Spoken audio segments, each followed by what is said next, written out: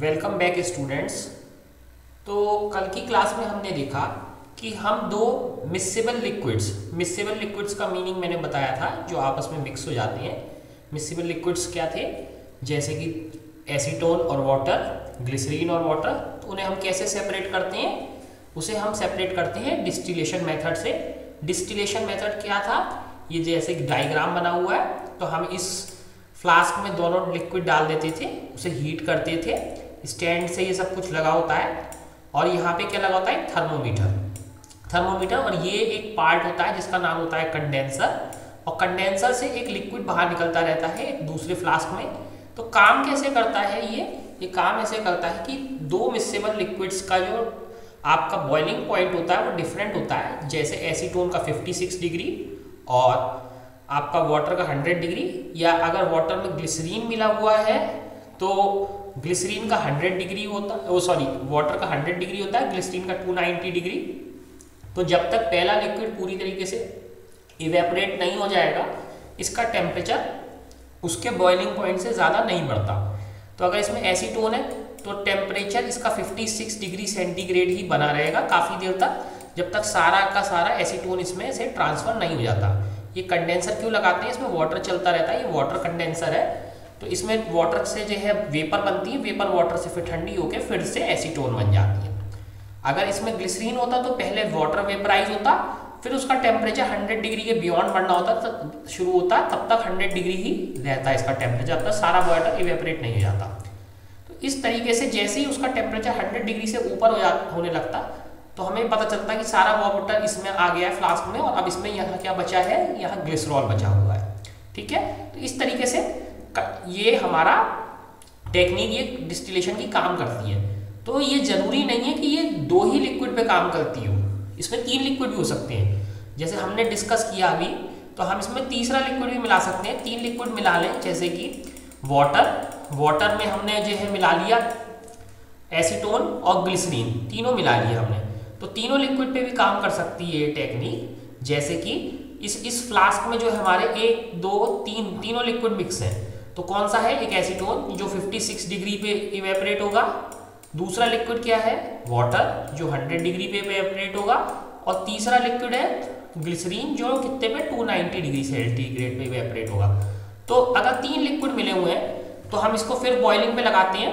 तो थर्मोमीटर लगा हुआ है।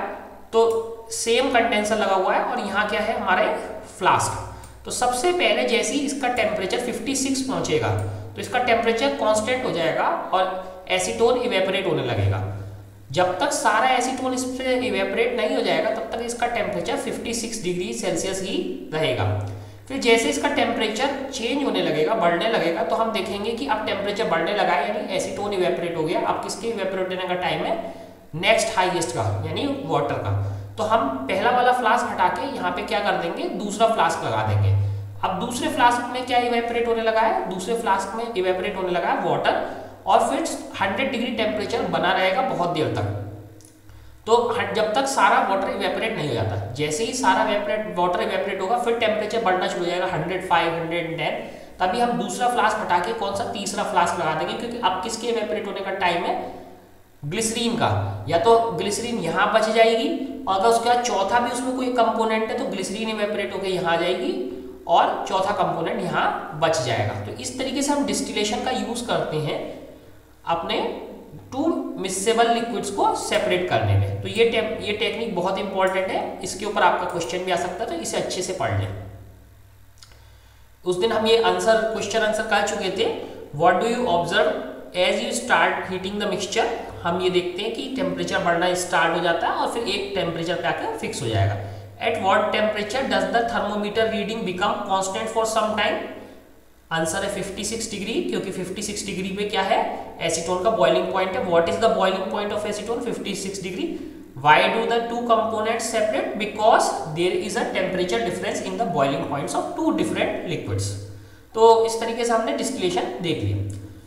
This method is called distillation ठीक है? मेथड का नाम क्या है? Distillation it is use for separation of components of a mixture containing two miscible liquids that boil without decomposition and have sufficient difference in their boiling points अब देखो, अभी तक तो चीज़ें ठीक थी, हमने समझ लिया है इस प्रोसेस को। अब देखते हैं कि ये काम कैसे करता है।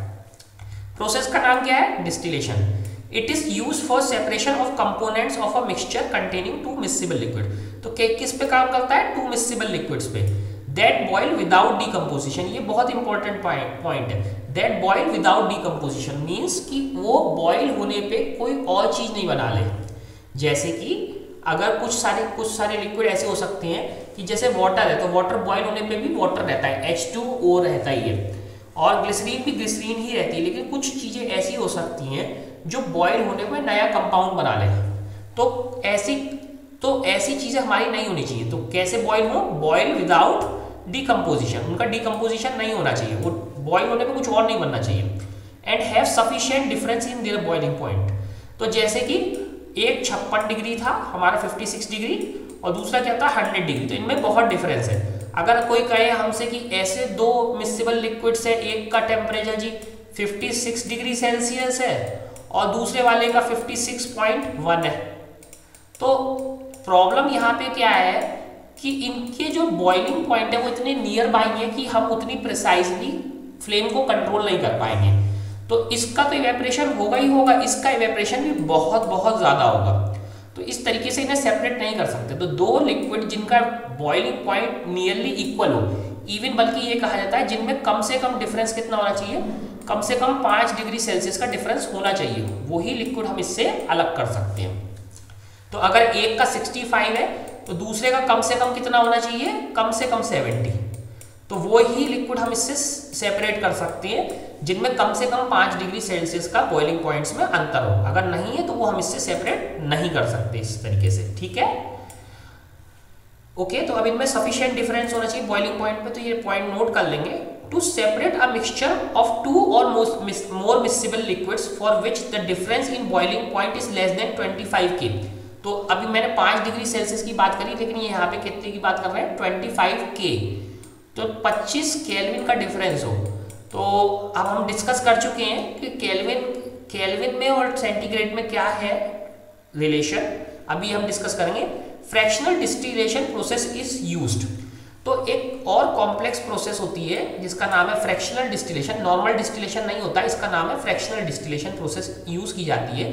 For example for the separation of different gases from air different fraction from petroleum products etcetera तो एक और टेक्निक होती है जिसका नाम है फ्रैक्शनल डिस्टिलेशन तो अब जो पेट्रोलियम प्रोडक्ट है, उनके डिस्टिलेशन नॉर्मल तरीके से नहीं होता। उसके लिए हम क्या क्या यूज़ करते हैं? फ्रैक्शनल डिस्टिलेशन इवन जैसे अभी हमने डिस्कस करा फाइव डिग्री सेंटीग्रेड का डिफरेंस मैं मिनिमम बता रहा हूँ, क्योंकि मैं अपने लैब के एक्सपीरियंस से बता रहा हूँ।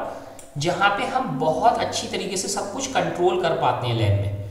जहाँ टेम्परेचर को बहुत अच्छी बहुत अच्छी लैब में कंट्रोल कर पाते हैं। लेकिन जहाँ, जैसा इन्होंने डायग्राम दिखा रखा है उसमें, उसके हिसाब से 25 डिग्री सेल्सियस कम से कम डिफरेंस होना चाहिए।